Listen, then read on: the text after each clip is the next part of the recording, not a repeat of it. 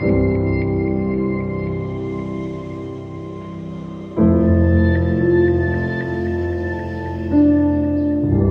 ime je Milan Nikolić, imam 28 godina, završio sam e, master studije na Pravnom fakultetu u Novom Sadu.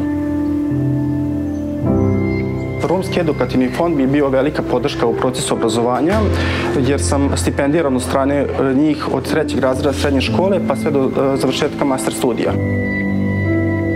Ova stipendija mi je bila velika motivacija za učenje i olakšica kako bih mogao da se posvetim učenju i polaganju ispita. Jer moji roditelji tada nisu bili u finansijskoj situaciji da mi obezbede sve ove troškove.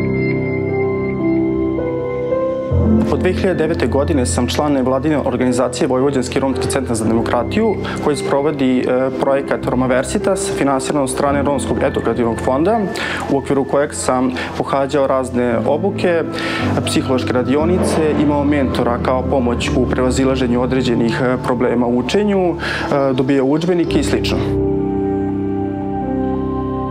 Takođe, bio sam i deo programa projekta pod nazivom Unapređenje mogućnosti za integraciju i obrazovanje Roma u Srbiji, koju je podržala Nemačka razvojna saradnja, a implementira Nemačka razvojna banka.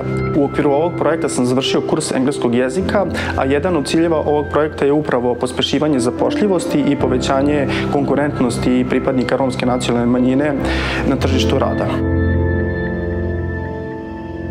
Bez ovih vidova pomoći ne bih uspeo da budem ono što jesam. Danas radim u instituciji Poverenik za zaštitu ravnopravnosti koja se bavi zaštitom diskriminacije.